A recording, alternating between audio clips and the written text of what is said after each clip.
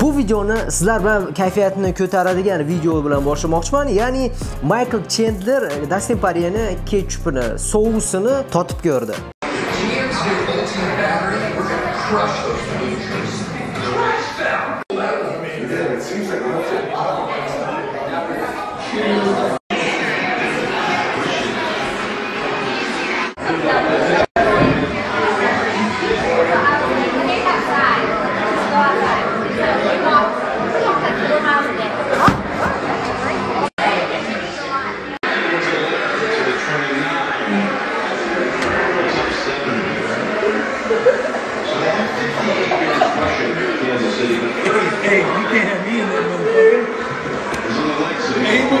Like sitting right behind his shoulder looking. Pretty good. Swipe up. Got trigger. Swipe up. Albatta bu video bilan Michael Chandler e, Poryeni g'ashiga tegmoqchi. Ko'rdinglar, uni surga tashab, axlatdan olib, qaytalatdan yana surkab yemoqda. E, Poryeni ketchupi, ya'ni sousi Louisiana deb nomlanadi. E, Balkim Rossiyada bordir, bizda lekin точно yo'q. 14 fevralda Kamar Usman va Gilbert Burns ya'ni topoviy jang bo'ladi. Aynan bu janglarga kommentariyadagi ssilka orqali pul tiking, chunki u yerda koeffitsient baland, shuningdek bonusga ega bo'lasiz. Kim birinchi ro'yxatdan o'tsa, 1000 rubl bonus. Keyingi xabarchamiz Toni Fergyusonga e, Kevin Li ikkinchi revansh ularni jangi bo'lishiga namoyon qildi. Birinchi jangida Kevin Li mag'lub bo'lgandi Toni Fergyuson bilan jangida. E, hozir esa ikkalasini revanshi bo'lishi mumkin. Albatta aniq emas.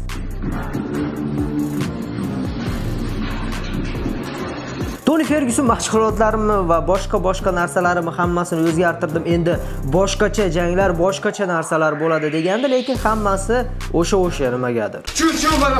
Shuningdek, UFC 260 turniri, ya'ni 27-mart kuni e, Ngannou va Miocichning jangi kutilmoqda. Aynan shu jangga Ngannou tayyorgarlik ko'rmoqda. Sizlar bilan kechagina gaplashgandik, что e, Stipe Miocic bilan revansh o'tkazadi va kim kuchliligini kommentariyada yozib qoldiringlar deb. E, To'g'risi, Ngannou jangni boshida juda ham xavfli aytib o'tganimdek, lekin stiv Miocic menimcha xuddi birinchi e, jangidagi ssenariyni qaytaradi, ya'ni e, charchatib turib Ngannou'ni keyin уже ustidan g'alaba qozonadi. Aynan shunga Ngannou hozir juda ham yaxshi tayyorgarlik ko'rmoqda. Mana marhamat videosi.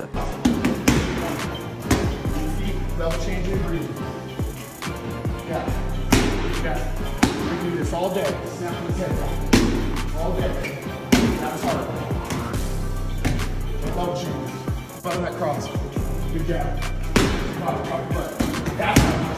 Endi bizni asosiy xabarimiz do'stlar. Conor McGregorni va pariyani 3-jangi trilogiyasi yozda bo'lib o'tadigan bo'lmoqda.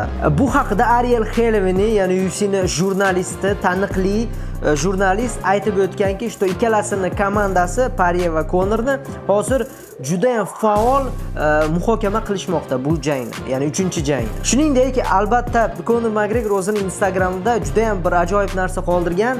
Э, o'zini mana bu suratini qo'yganda boshqa yaxshi Konor Makgregorni ko'rmaysiz. Ya'ni bilasizlar, e, Habibni jangidan keyin Konor Makgregorni biz e, boshqacha ko'rishni boshladik. U yaxshi e, raqiblariga hurmat bilan qara boshladi. Endi Konorni aytishicha, bu Konor yo'q. O'zi aslida Konor Makgregorni bekorga odamlar tanimagan. Bilasizlar, trash talk uchun, ko'p gapirgani uchun, shou qilgani uchun ko'pchilik yaxshi ko'radi uni. Va shuningdek, oldinlari aynan trash talk menimcha raqiblarning ustidan g'alaba qozonishga yordam berardi. Bu ham qanaqadir rol o'ynaydi baribir. O'shuning uchun Conor McGregor qancha yomon bo'lsa, ya'ni yomon emas, oldingidaqa bo'lsa, biz xursand bo'lamiz. Biz uchun bu tayyorgina bitta show. Sizga qaysi Conor yoqadi, oldingimi yoki hozirgimi? Kommentariyada fikringizni yozamiz, albatta o'qib chiqamiz.